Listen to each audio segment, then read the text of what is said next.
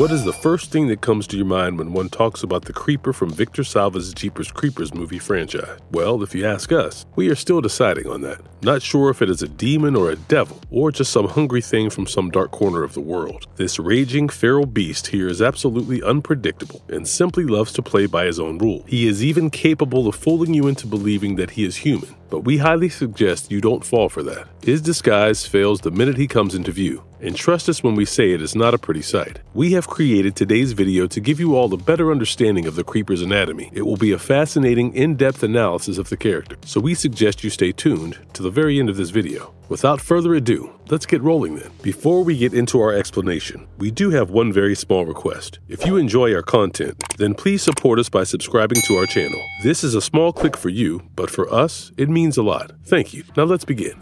You hear me? You take me! You fucking let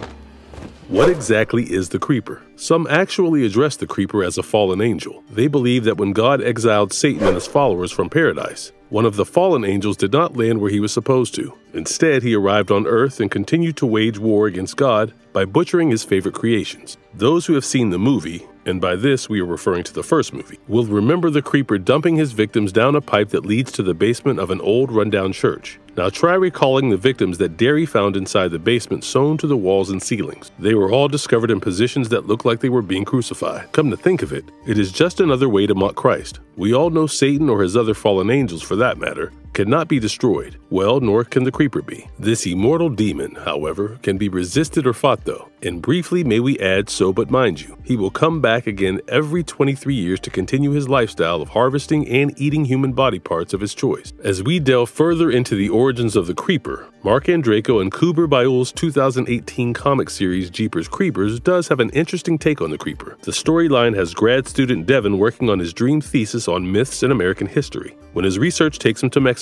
and no points for guessing that he somehow manages to establish this link between him and the creeper. It is through the comics that we learn how the creeper has been around since the medieval ages. In fact, not only has he been a part of several ancient cultures, but to many, he has also essayed the rule of God. You will be further surprised to know that the creeper apparently had some connection even with the Native Americans, and he was also accountable for the abrupt disappearance of the local community of Roanoke Island in North Carolina. People who fancy theories will love what we have to offer next. There are hordes out there who have categorized the creeper either as a gargoyle, a Wendigo variant, or this extraterrestrial being from an entirely different world. In fact, there are lots of legends that state how the creeper was once a man who was cursed. The man soon realized that in order to survive, he had to feed, and that is how he began devouring on the human flesh. Now, if one is to examine his methods or let's say his personality, it is only fair to say that he fits the shoe of a vampire. Don't worry, we will be citing our reasons and then you can give it a thought and let us know what you think. The creeper tends to share many similar traits with a vampire. To begin with, both are smart and they absolutely take pleasure in coming back from the dead. Both have weaknesses despite being in possession of eternal life. Both are vulnerable to burning as well as decapitation. But then again, the creeper's regeneration prowess helps him regrow his head, and all he has to do for that is just consume the head of a victim. Speaking of powers,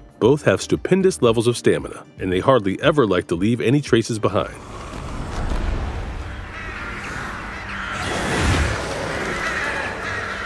How does the creeper regenerate? First and foremost, the creeper possesses the power to regenerate literally any part of his body, and he just has to feed on a similar part from his victim to set the process. That's how he has survived since the biblical time. This gift of regeneration also serves him as a healing factor, as he has the liberty to throw away his damaged body part right after consuming the substitute organ from his victim. Besides this, he also has an exceedingly high level of durability. We are talking about interminable gunshot wounds in crucial areas, high caliber machine gun wounds to the point of even getting badly hit by vehicles moving at a very high speed, and falling from altitudes that would put any human in instant mortal danger. If you recount the incidents of Jeepers Creepers 2, the Creeper, in spite of getting impaled with harpoons and having a rather nasty head wound, is shown moving. He stops when he reaches the end of the 23rd day of his vicious killing spree. One of the most iconic scenes from the second movie happens to be the part where the Creeper removes his mutilated head after one of the students impales him using a javelin only to decapitate another student and put his severed head as his new head. The first film also has a scene on similar lines. We are talking about the part where the creeper picks up the severed head of a male cop, sniffs it to his heart's content, and then pulls out the tongue with his teeth and devours it. Another scene that deserves mention is one from the 2022 movie Jeepers Creepers Reborn. Please know that while we in our sane minds would not recommend the film to anybody, there happens to be a particular scene that needs to be spoken about, given that we are talking about how the creeper regenerates. The scene has the creeper dragging the body of the character Carrie, who he had previously killed by aiming his battle axe at her head. This is followed by the creeper pulling out her hair and relishing her brain.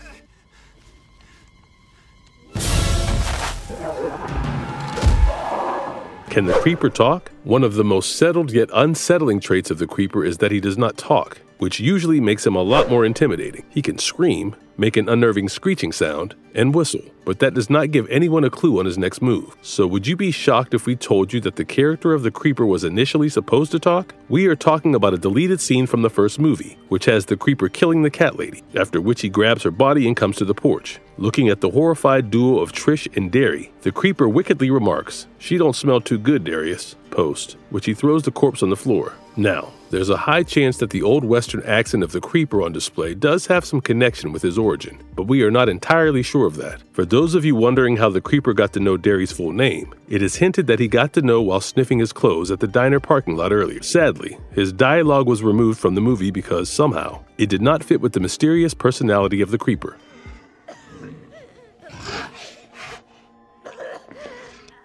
The creeper can smell specific organs of his victims. Apparently, he has a third nostril right on the bridge of his nose that not only lets him smell fear in his victims, but also the very organs that he wants from them. We want to cite two examples here. We will begin with the 2017 movie Jeepers Creepers 3. A particular scene shows a bunch of teenagers on their dirt bikes discovering the creeper's truck. One of the boys pees on the truck's cow catcher and leaves from there. When the creeper returns, it does not take him much time to figure things out. He is seen smelling the pee and going after the boy looking highly pissed. For the next scene, we will be stressing on Jeepers Creepers 2 that has the creeper examining the students inside the bus after strategically taking out the adults first. It's here that we get a clear view of his third nostril, which he resorts to in order to single out his victims.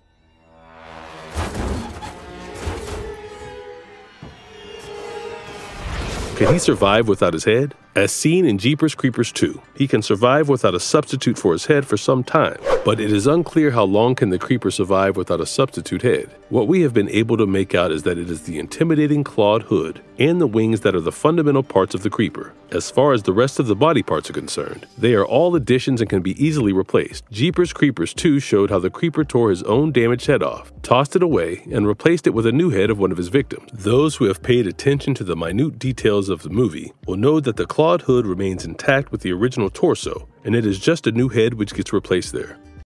Don't shoot at the goddamn Is the truck part of the creeper's body? The customized truck inevitably happens to be the creeper's prized possession. As a matter of fact, you will agree with us when we tell you that he is willing to go to certain lengths to booby trap it and then, of course, retrieve it. The vehicle, as we all know, is chiefly used to transport bodies, scare potential victims, and get a whiff of their fear. It functions as per the creeper's will. It even opens the door for the creeper and drives by itself. The truck is highly modified. The engine is amplified. The body and tires are bulletproof. There are spikes on the rear doorway that are meant to kill curious intruders or victims attempting to escape, and a closer look inside will show how it is packed with knives and spears. The creeper has telepathic control over his vehicle and can summon weapons from his truck by merely gesturing. Also, if he happens to be wounded, he prefers eating the preferred organs of his victims inside the truck. The truck's highlight is the personalized license plate that reads, Beating You, which is basically be eating you, but often gets confused with beating you.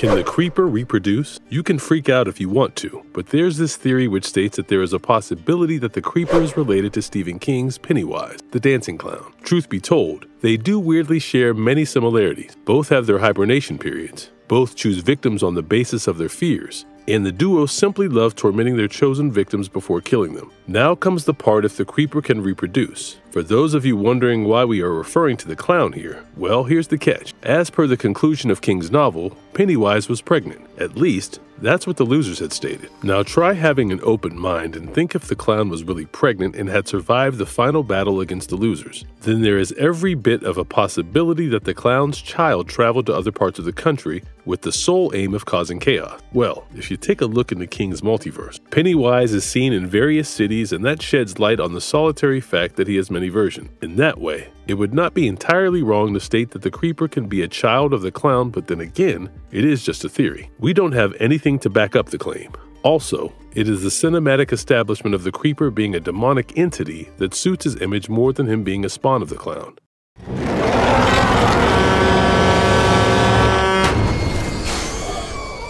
Can we kill the creeper? The answer is pretty simple. The creeper can be hurt, but he cannot be killed. However, that's not what fans of the franchise would like to believe. They have come up with the craziest of ideas, and we will be sharing our favorite ones with you. Some have stated that the creeper should be cast in concrete, then taken to the deepest part of the ocean and left there. Well, if you thought that was dark, there are some who are willing to locate the creeper while he is hibernating only to put him on a rocket and send him to the sun. Now that's batshit crazy, right?